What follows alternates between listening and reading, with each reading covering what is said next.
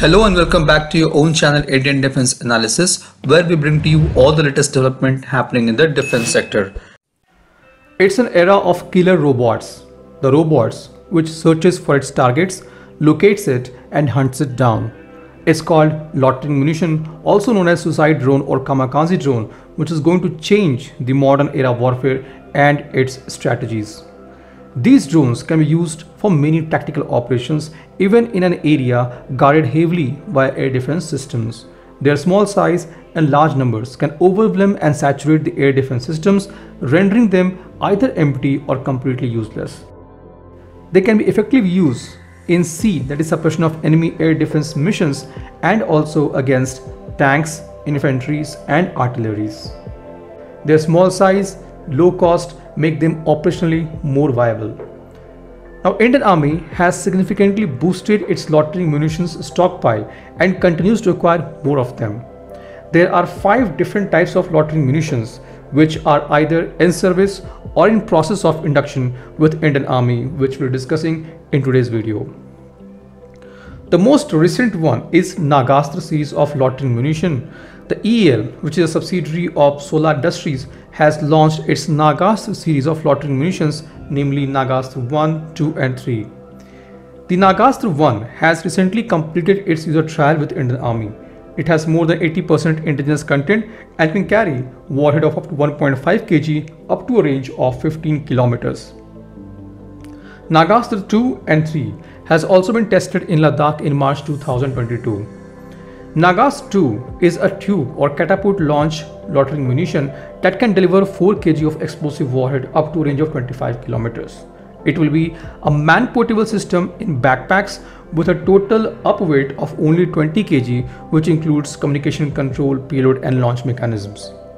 Nagastra 3 is a vehicle mounted tube or cassette launched loitering munition that can carry 5 to 10 kg of warhead up to a range of 40 to 100 kilometers. This will be a rugged and mobile system where six launchers, generators, UPS and other support equipment can be accommodated in a 1 ton class of vehicle. This variant can gainfully utilized by operational commanders to shape the battlefield and can be a game changer. Now, as you all know, Indian Army has also procured 100 numbers of Polish Warmate UAV loitering munition. The Warmate constitutes a good alternative for anti-tank guided missiles with its capability to operate in significantly larger radius, allowing comfortable detection and observation of potential targets. Optionally, the system can be equipped with a laser-seeking warhead.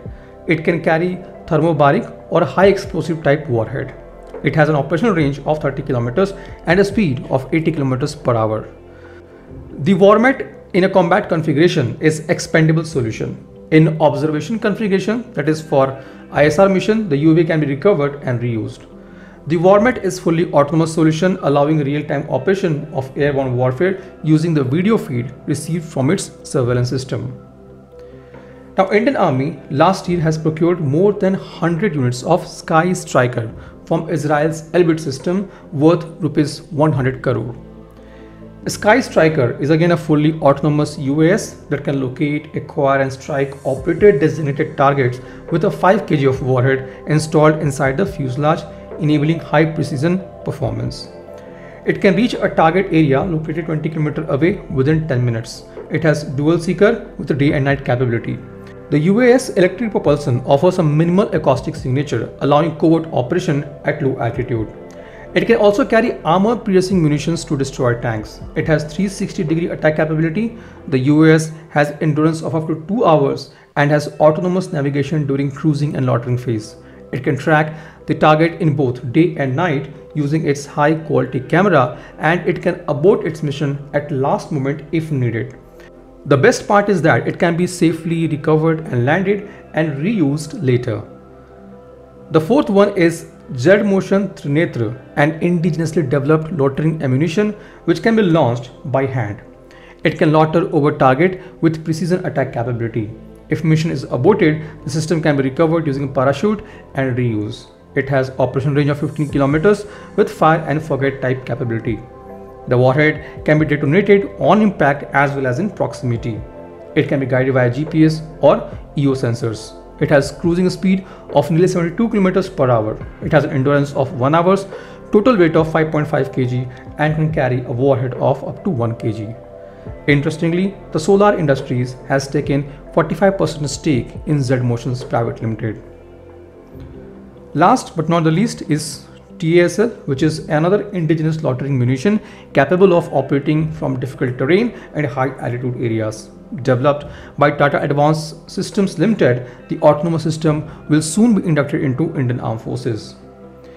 The ALS-50 of TASL can take off like a quadcopter and transitions into a fixed wing mode during flight for long distance travel. It has demonstrated its ability to operate from high altitude areas during tests in Ladakh as well as in the hot desert of Pokhran. It has payload capacity of 23 kgs. The drone seems to have four electric motors and one piston engine of 37 horsepower. It has a range of 1000 kilometers and top speed of 190 kilometers per hour and endurance of nearly 6 hours. This was today's update. Please let us know what is your views about these in comment section. Feel free to post your comments and suggestions about any topic related to defense sector on which you want to hear from us. With this, I would like to say goodbye and Jai Hind friends. Please like and subscribe our video if you have not done already. We'll be soon back with more interesting and amazing development happening in defense sector.